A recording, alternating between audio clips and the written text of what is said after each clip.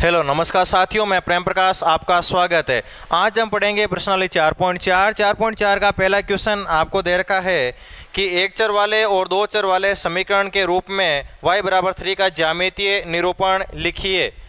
तो हम कैसे लिखेंगे? आपको समीकरण दे रखा है y बराबर थ्री और एक चर वाले के रूप में लिखना है तो आपको एक ही अक्ष खींचना है।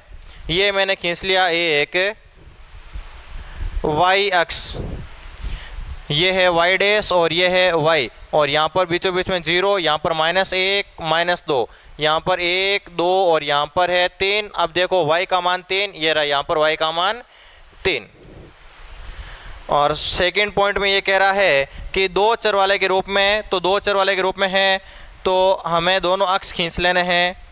ये मैंने खींच लिए दोनों अक्ष। ये एक्स और ये है एक्स डैश ये वाई और ये है वाई डैश यहाँ पर एक, यहाँ पर दो और यहाँ पर तीन ले लिया। एक, दो और तीन। माइनस एक और माइनस एक। वाई का मान तीन है एक्स का मान चाहे कुछ भी हो। तो वाई का मान तीन रहना चाहिए एक्स का मान चाहे कुछ भी हो। ये इस प्रकार से आ जाएगा।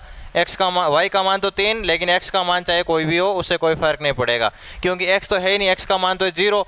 अब ज़ीरो को आप किसी से भी गुणा कराओ, तीन, चार, पाँच, आप एक्स का कोई सा भी मान लो, वो ज़ीरो ही होगा।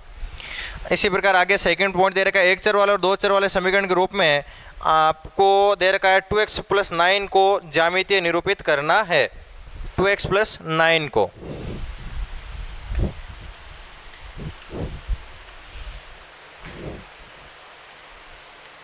टू एक्स प्लस नाइन बराबर ज़ीरो दूसरा प्रश्न आपको दे रखा है टू एक्स प्लस नाइन बराबर ज़ीरो इसको एक चर वाले समीकरण के रूप में और दो चर वाले समीकरण के रूप में व्यक्त करना है।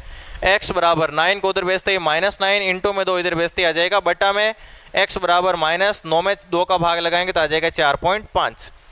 ये आ गया x का मान। अब एक एक चर वाले के रूप में लिखना है तो आप x अक्ष खींच लीजिए।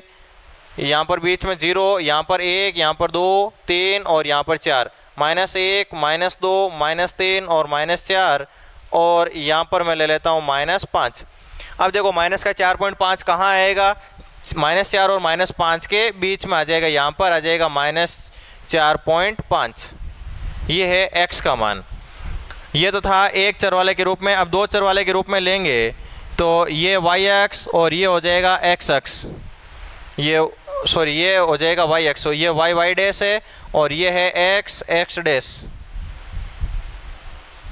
एक, दो, तीन, एक, दो, तीन, एक, दो, माइनस एक, माइनस दो, माइनस तीन, माइनस चार, माइनस पाँच, माइनस एक, माइनस दो। एक, दो, तीन, एक, दो और तीन। x का मान कितना है? माइनस चार पॉइंट पाँच। ये यहाँ पर आएगा x का मान माइनस चार पॉइंट पाँच। तो यहाँ से आप एक रेखा खींच देना, y x के समांतर।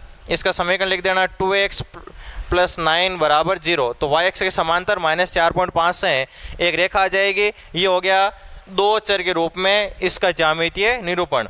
तो इस प्रकार से ये प्रश्नावली अपनी चार पॉइंट चार तो आज अपनी प्रश्नावली चौथी कंप्लीट हो गई है। आगे हम पढ़ेंगे पांचवी यूक्लिड की जामिति के बारे में। तब तक के लिए नमस्कार, धन्यवाद।